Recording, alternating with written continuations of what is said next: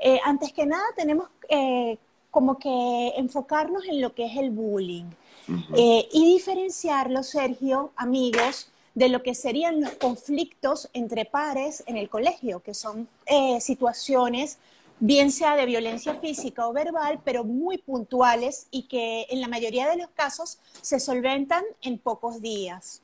El bullying tiene tres características fundamentales para que podamos decir que es bullying. Primero que nada, una conducta eh, continuada en el tiempo.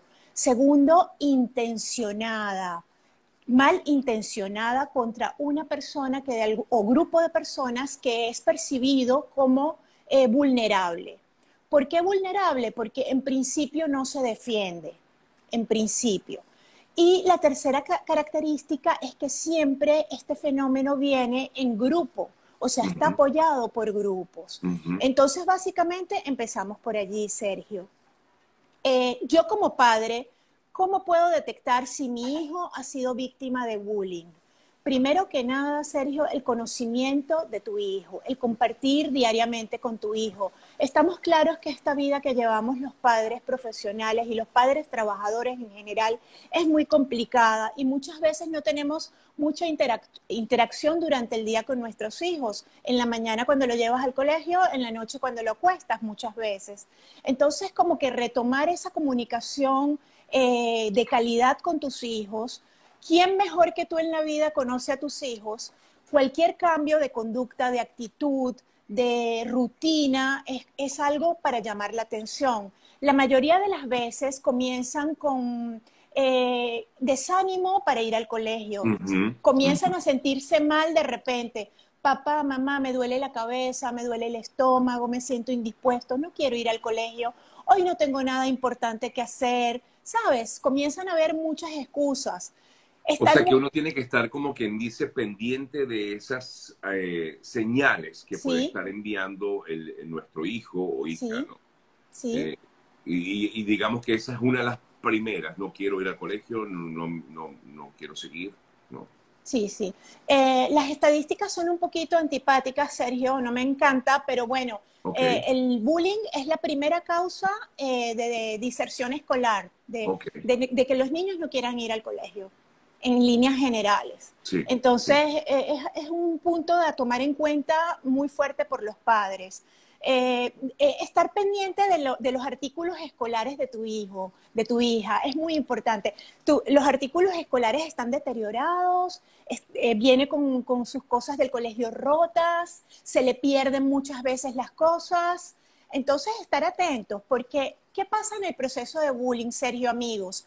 Genera una vergüenza enorme en los niños, no importa la edad de los niños. Y no lo quieren decir, no lo quieren hablar. No lo quieren hablar. Y esto, tanto de parte de los agresores como del, niño o los niños agredidos, eh, hace como una especie de, conspiración silenciosa que le permite seguir en el tiempo.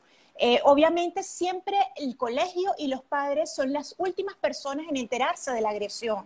Entonces, eh, eh, esas señales que nos transmiten... Pero hay, algo, disculpa que te interrumpa, Victoria, hay algo muy particular que se ha venido dando, sobre todo durante estos últimos tiempos, y es que eh, parte de ese acoso es grabar la situación. Sí, Porque ahora, claro, como también los chicos tienen un teléfono hoy día, ellos graban esto para burlarse aún más incluso de la persona que es en este caso acusada, ¿no? Sí, sí. Es importante esto que estás acotando porque sería el ciberbullying. Eh, ¿Sabes? ¿Qué pasa en estas circunstancias, Sergio? Que no solamente los protagonistas son las personas eh, agredidas, abusadas, los abusadores. Dentro de esa, en, ese, en esa línea existen otro grupo de personas que intervienen, que son eh, los, las personas que actúan de manera eh, solapada, eh, los, que, los que le dan de alguna manera cancha, teatro, visibilidad a esos bullies, que son los que cuando ocurre la situación se ríen, graban, felicitan y continúan. Y, aquellas personas que eh, son testigos silenciosos y que también son cómplices porque guardan silencio, no, no, no llaman a nadie a intervenir. ¿Y por qué lo hacen, doctora? ¿Por qué?